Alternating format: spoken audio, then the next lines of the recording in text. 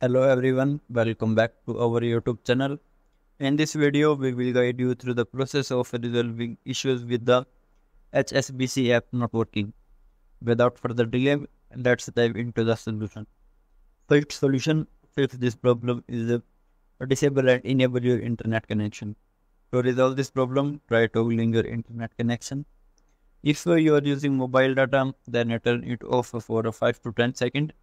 Then switch it back on. For Wi-Fi users, uh, turn off Wi-Fi for the same duration and then uh, switch it back on. Alternatively, activate aeroplane mode for 4 to 5 seconds, then turn it off. After that, check if the issue is resolved. Second solution uh, to fix this problem is a force close and restart HSBC app. For that, just open your phone setting and navigate to the app manager or apps. Then I select the HSBC app from the app list.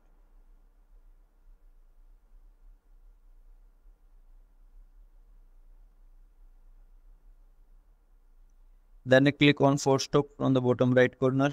Confirm by clicking OK and then reopen the HSBC app. Third solution to fix this problem is clear HSBC app caches.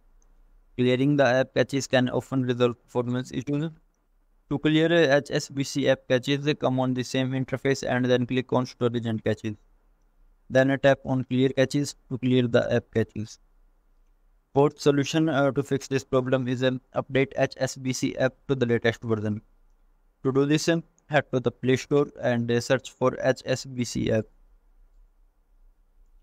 After that, uh, select the app. If an update is available, you will see an update button next to the app. Tap on it to update the app to the latest version. Once updated, launch the app again.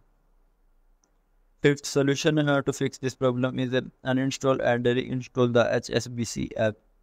For that, just go again to the Play Store, search for HSBC app and then select uninstall. Once uninstalled, reinstall the app by clicking on the install button.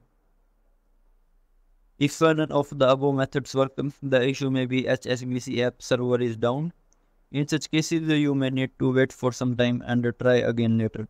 Thank you for watching our video and we hope these solutions help resolve the HSBC app issue for you.